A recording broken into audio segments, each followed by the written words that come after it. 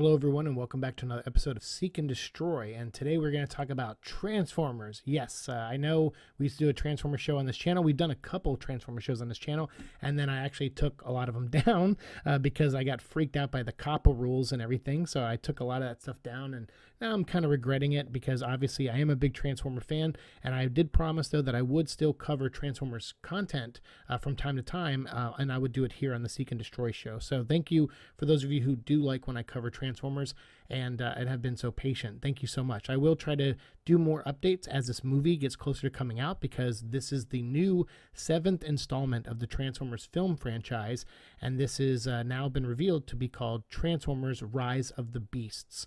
And obviously that infers a lot of things from Transformer lore, and we're going to get into that here because I have a couple articles up. Uh, mainly one I'm using is USA Today, so I'll put a link to that down below if you want to check out the full article.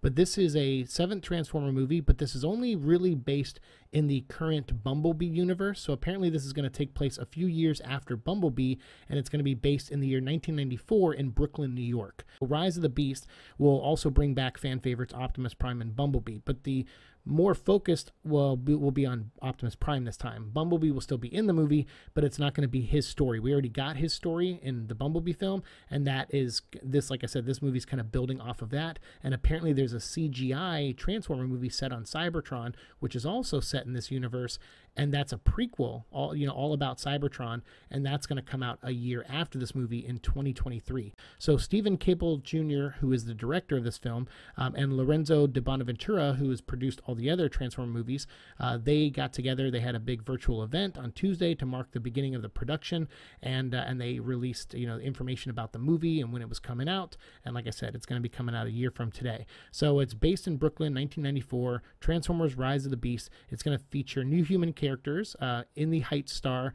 Anthony Ramos. You know that movie just came out recently, so Anthony Ramos is going to be the star of this film or one of them. And then we also have Dominique Fishback, who was in the Judas and the Black Messiah, which is awesome. If you haven't watched that yet, actually, that's a really good movie. I dug that. I haven't seen In the Heights yet, um, but Judas and the Black Messiah was really great. There's some quotes here from Caple Jr. saying there are different breeds of Transformers. So we're going to prepare for the Maximals, which are creature like descendants of the world protecting Autobots, and Predacons, which are descendants of the evil Decepticons. And we're going to introduce a new villain to the movie universe, which is the Terrorcons. So if you've ever read, you know, any of the comics or if you've seen any of the old cartoons, you know who the Terrorcons are. You know who the Maximals are if you were a fan of Beast Wars in the early 90s, um, which is, you know, this movie set in the early 90s. So maybe that was one of the reasons they were like, hey, that's when the uh, Beast Wars came out. But again, they're going to do that thing where they tie you know our history into the transformer lore and i always got old that got so old after like the second movie. Like the second movie was like all right pyramids that's connected to the transformers. And then the third movie was like all right now the moon landing was connected to the transformers. And the fourth one was like uh, dinosaurs are connected to the transformers. And then the fifth one was like king arthur was and merlin were connected to the transformers. And now the incans and the and the uh, machu picchu and all that stuff like and the incan empire like all that's going to tie in somehow. So that part feels like a di Bonaventura thing where those producers like we got to have this in it because that's a staple of the other movies. But Bumblebee didn't have that, and that's what I liked about Bumblebee was that they took all that horse shit out um, because it it makes human, you know, it makes all the stuff that we've accomplished feel cheaper, uh, knowing that the Transformers helped us build pyramids and the Transformers helped us land on the moon, or was the reason we landed on the moon. Like it just makes every every achievement humanity's had, it feels like less of an achievement every time they do this, and just takes away from our our actual achievements. Um, I know it's fictional and you're supposed to just kind of have fun with it, uh, but still, to me, I'm just like knock that shit off, man. Uh, I really don't I don't get into that too much. Um, so yeah, but anyway, obviously it's always Autobots and Decepticons. But in this movie, we're going to bring in the Maximals, or at least a couple of them, and Predacons and Terrorcons. Now, a Terrorcon is going to be the main villain of the movie, and we're going to get into that here in a second uh, from another article because they don't really announce all that stuff in this article. But we're going to talk about the robots that are in this movie, and we're going to talk about uh, you know what they turn into and on all that stuff. But I'm very glad that it is going to focus on Optimus and kind of his connection to humanity, and I hope it I don't know how they're going to do that. You know, who knows? Maybe he was Optimus Primal way back when and then got sent back to Cybertron and now he's back. I don't know how they're going to do that. Um, but apparently, this is going to be more of an Optimus story. I've been wanting that. I've been saying for like the last five movies, you know, six movies. I'm, I'm, like, tell the Orion Pax transforming, you know, becoming Optimus story. Like that's such a great story. Orion Pax is just like a dock worker on Cybertron. He's just like this lowly robot that's like no bigger than Bumblebee or a little bit bigger than Bumblebee, and he has uh, Ariel with him, and, and, and you know, they and, and I can't remember his friend uh, who starts with a D, um, but they like the three of them are like working this warehouse together on the docks or whatever, and they and eventually they get bombed by the uh, and tricked by the Decepticons and then get rebuilt. And that's when Orion Pax becomes Optimus Prime. And I just think that's a cool story that you can tell. But uh, but I don't so I don't know. I don't know if they'll do that. But they did announce that Peter Cullen, who's voiced Optimus Prime since the beginning, is going to be coming back to play Optimus Prime, which I'm excited for because I mean, come on, he's the best. He's the only Optimus Prime. like, I'm sorry, everybody else, but he ruined that role for all of you. Like, you know, other people have tried and they've done okay jobs as Optimus and good alternate versions of Optimus, but no one's better than Peter Cullen. And I think every actor will agree with that for sure. Um, but we do have like you know Bumblebee's going to get a little bit of a new look. Uh, we have Optimus who's going to get a little bit of a new look, uh, but that's I'm fine with that. That's totally cool. Like we have Mirage, who's going to be in this movie. Um, Mirage is going to be uh, turned into a Porsche 911, and now Mirage is a character you've probably heard me talk about in those episodes that are now deleted, unfortunately.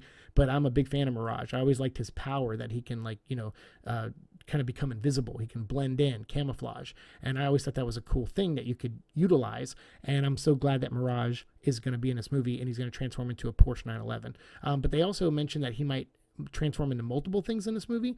So that'll be pretty cool. I would love to see him turn into his Formula One racer. I thought that was a really good look and it's different than the other Transformers we've seen in the other movies. So hopefully he moves from a Porsche to a, uh, you know, like some kind of F1. That would be really great.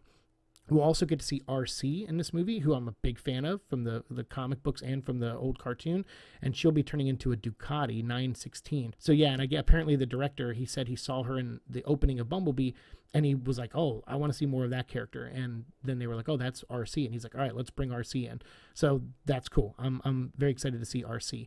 And then obviously we have Optimus Prime and Bumblebee, uh, who will be kind of rounding out the Autobots. But then we're gonna also introduce the uh, Maximals, and this is gonna be uh, the uh, you know I guess the ancient Autobots in a way. They're kind of descendants of some kind of the Cybertronian Autobot clan, and uh, and so Optimus Primal is kind of their leader or father figure of the group, um, and he's kind of philosophical. He has philosophical conversations with Optimus Prime apparently in the movie. Uh, apparently they're on the same plane, so that's going to be really interesting. If uh, Optimus Primal was a different entity than Optimus Prime, if he's like like one of the first primes in a way, and then it's like in a now Optimus Prime or Orion Pax is the newest Optimus. Um, that could be kind of neat. I, I, I would not be against that if they make them two different entities because I don't know how you're going to make them the same. Uh, but I don't know. Then again, some of these movies get kind of dumb at times, so we'll, we'll I, I, won't hold anything past them uh, or put anything past them. But um, we're also going to get Rhinox, which is really cool. Rhinox is like kind of the muscle of the group in the um, the Beast Wars cartoon. So he is kind of like that in this. You know, they basically sum him up as he wants to use the horn that he has. He wants to ram stuff, and uh, they think he'll be a fan favorite. And then there's also Airazor, who is described as the heart of the Maximals. And Airazor is a robot hawk with a rustic look, as in has literal rust on it. So I'm really interested to see how they're going to pull off like an ancient technology transformer, you know, someone who's been around since the you know early age of man. Um, I'm really curious about that. Um, and then last, let's talk about the villains real quick. The Terrorcons, or the zombie robot villains, as this article puts them. We have Nightbird, who is another female Transformer. Uh, I'm a big fan of because she's black and purple, and those colors look great together. Uh, she's going to turn into a Nissan GTR, uh, and she'll be a, one of the Terrorcons. So uh, she'll be have she'll have a customized spoiler and bumper, and she carries a sword. Um, and then the main villain of the film. So we're going to have some Autobots and Decepticons early on, but they don't mention Megatron. They don't mention Starscream. They don't mention any of them. So I'm wondering if it starts off with them, you know, taking down one or two low level Decepticons that have come to Earth to look for Autobots.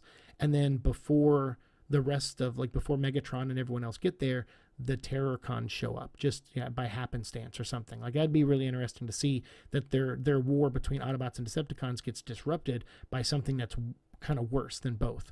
Um, so we have Scourge, who is the main villain of the film. And Scourge, uh, I think there was like a robot in disguise version where he was a Terrorcon and he was um, kind of like a almost like a bounty hunter, like a like what's the the villain from um, the fourth Transformer movie? Oh, what was his name? Oh, Lo- uh, Lockdown. Yeah. So Lockdown was kind of like a bounty hunter type thing, and he was like a third party. He wasn't uh, Autobot or Decepticon. But Scourge is kind of like that, but he's a Terrorcon, and apparently he has a giant claw for a left hand, a charcoal black body with glowing molten orange innards, and plumes of black smoke coming from exhaust pipes on his shoulders. And apparently, when he kills uh, like another robot, he uh, like absorbs or takes their si- uh, sigil or signal or whatever, like you know their their crest of some you know whatever they have, like Autobot, Decepticon. He steals some kind of essence from them and can, I guess, merge it into himself. So he's almost like uh, you know someone who can absorb powers, almost like a rogue from the X Men, maybe. Um, that would be interesting because that would be neat to see him take uh, to kill Mirage and steal Mirage's cloaking ability, and then it would make Scourge even more of a threat in the movie if he's invisible for a point. Um, so that that could be really neat. I don't know. I'm I'm I'm kind of intrigued by Scourge being a villain and then not you know them not going right to Megatron again. I'm I'm kind of glad for that there's my big Transformer episode for all this news because there's so much news here. But hopefully, I went over it as clearly as I could with some cool visuals. And if you have any information that you want to share down below, something I didn't cover, or something you want more clarity on, or whatever, or just want to share your opinion about something, please do comment down below and we can continue our conversation down there as always. Thank you so much for watching the show. Like, share, subscribe, all that fun stuff. And we'll see you on Cybertron. Peace.